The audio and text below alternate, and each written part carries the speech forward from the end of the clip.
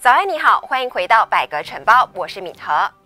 前两天，土团党青年团团长塞沙迪在记者会上公开爆料，有人要用五百万令吉收买他，并且要求他退出土团党。虽然首相署部长魏家祥认为可以当作娱乐新闻来看，不过今天却刊在了《马来报》《阳光日报》的头版新闻，包括不愿屈服的塞沙迪挑战主谋现身，有胆的话就告他。而这位要用钱收买他的 Edge 先生，塞沙迪今天将会到相关单。位包括反贪会和向警方举报他，因为早前收买他的人声称，如果不服从，他和家人的安全将会受到威胁。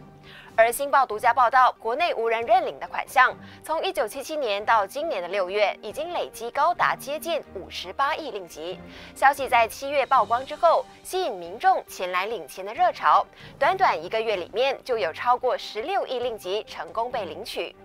中国报头版报道震惊国内体坛的新闻，包括我国有三名冬运会选手要检不过关，当中还有一名是金牌选手。根据新海峡时报报道，她是跳水女将。另外，警方在十月二号到位于大城堡的国家体育理事会大厦逮捕了一名三十五岁的中国籍跳水教练，他因为涉嫌强奸一名我国年轻跳水队选手，目前被警方严扣四天。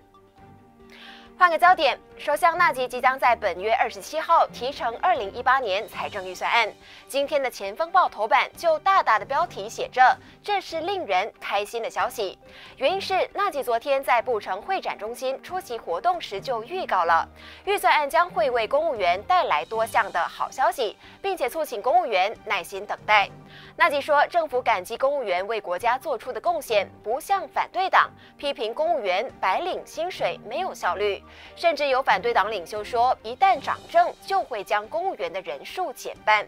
对此，纳吉就反问在场的公务员了：是否要将自己和子孙的未来压在反对党手中？因为难以想象，如果反对党执政，大部分公务员的命运将会是如何。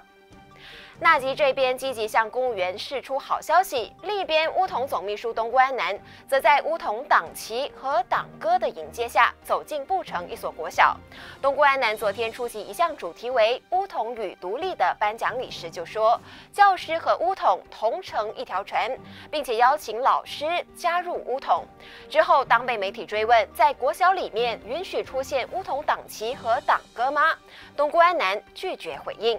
对此，行动党的国会领袖林吉祥随后就发文告狠批国政政府党国不分。如果这样的事情发生在其他首相掌政期间，有关的部长将会马上被开除的。他也讽刺东关南这学校呼吁老师加入乌统，已经创下了乌统的历史。